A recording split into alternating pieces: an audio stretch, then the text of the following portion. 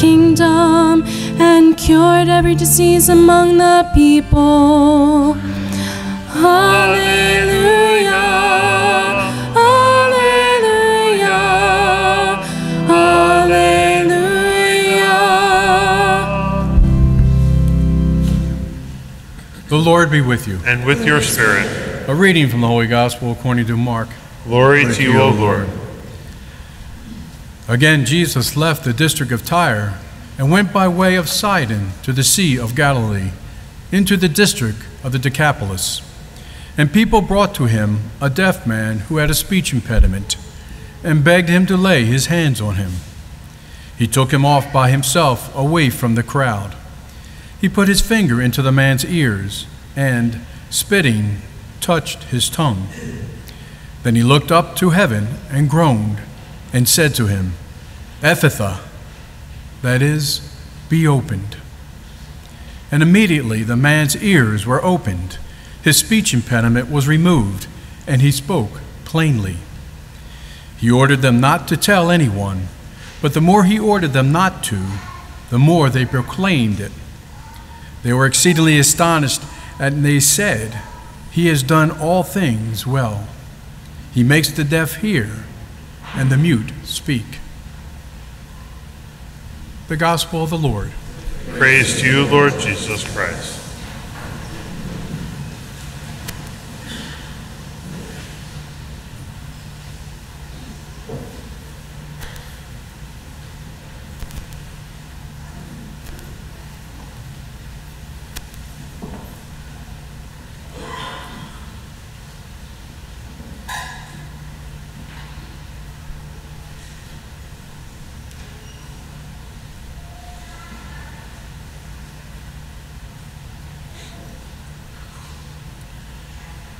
An older gentleman went to visit his doctor after having received a hearing aid, a very, very specific and uh, professional kind of hearing aid.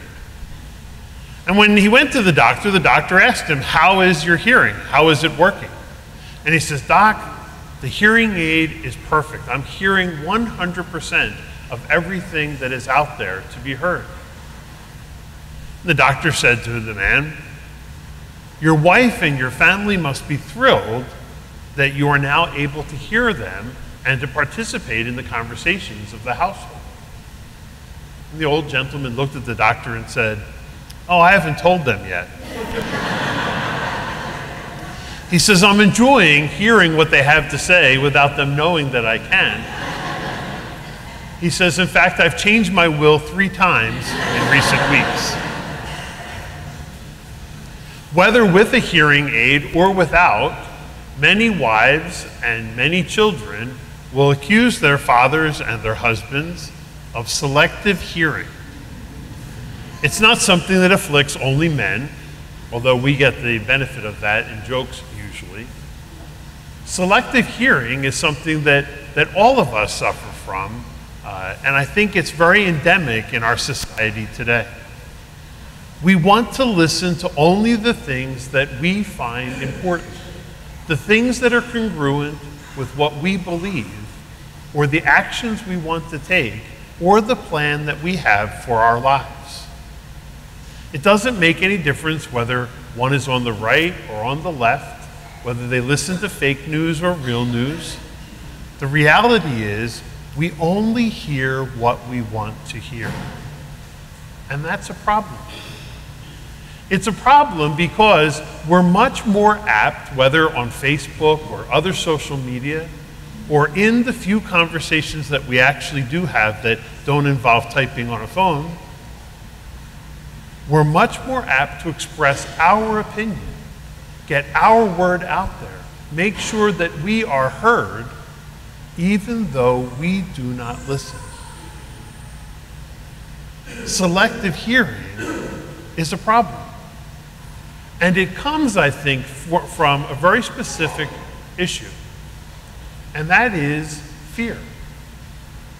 Because if we actually take the time to listen, we might have to change. We might actually have to look at our plans or our opinions or the things that we value and see that they need to be transformed. Perhaps even who we think we are might need to be changed. And that frightens us. In the Old Testament reading this morning from the book of the prophet Isaiah, we hear the people on their way back to Jerusalem. Remember, they were in captivity in Babylon, and many people stayed behind. But a faithful remnant heard God's call to return through the prophets, heard the call to return to their city of Jerusalem. What they didn't think about as they left Babylon and the comforts they experienced there was that for decades now, their homeland had been occupied by new residents. And so as they approached the city of Jerusalem and they saw these encampments, they were filled with fear. Why? Because they were not listening. They forgot, as God had demonstrated so many times in the history of his people, that he was their Savior.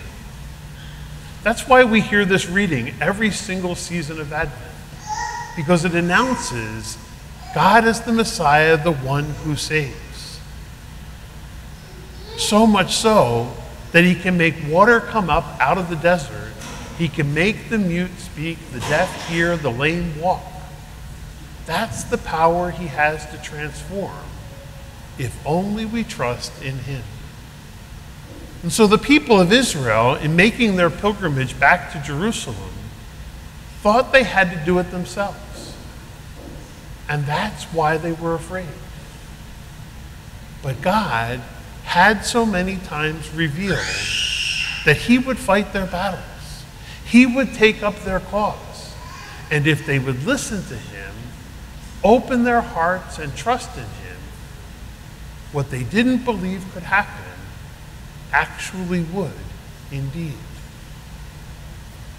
When Jesus is presented with this deaf mute in the gospel, you can only imagine the symbolism of this man trapped in the silence of a world where he cannot hear and therefore cannot speak, the man had to rely on others every day of his life.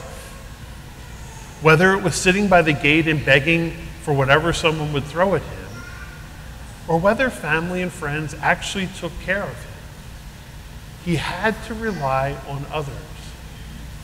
And so he's the perfect candidate to demonstrate to the people our need to do likewise. And so when Jesus takes him, look at the care that he gives to him. So as not to embarrass him, he takes him away, and Mark recounts the rituals involved in this man's healing. That Jesus, the Savior, touched his ears, that he spit, which was an ancient sign of casting out evil, and touched his tongue so that salvation would come at that moment into this man's life and allow him to hear and to speak. And when he does so eloquently, those who witness this miracle are themselves transformed. They cannot help but realize that salvation is in their midst, that Jesus is their Lord and Savior. And despite the fact that he tells them to be quiet, they have no choice other than to announce what they have experienced and to name him as their Lord and Savior. The spiritual awakening that happened in those people is intentional. It is also, in Mark's gospel, symbolic of something very interesting. Because to this point in the gospel, the apostles, the followers of Jesus, are not yet able to hear and understand, and nor are they able to confess Jesus as their Lord, as their Savior. And so the message should not be lost on us either.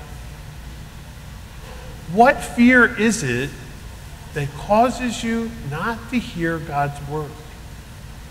And in not hearing God's word prevents you from speaking, not just with your tongue, but with your lives, the witness of who you believe Jesus to be.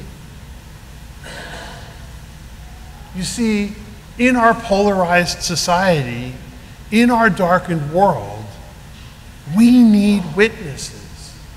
We don't need more words. We need witnesses.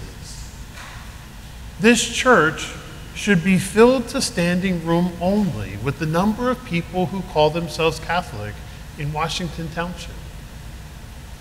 But they don't see the authentic witness of followers of Jesus. And so they don't hear the Word of God, and they're not able then to speak it. We who choose to come and to listen need to listen well so that our hearts may indeed be transformed, so that our words and actions provide that witness that others need. On the day of our baptism, that beautiful word that was preserved in the gospel from Aramaic, Ephphatha, was pronounced over each and every one of us. The priest or deacon touching our ears, touching our mouth, and saying that word be open, trust in God, realize that He is your Savior, and that with Him nothing, absolutely nothing, is impossible.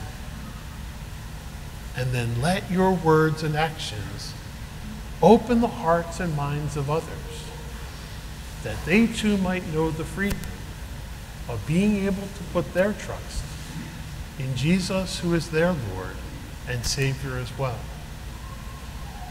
That is the witness we need. That is the witness we are called to give.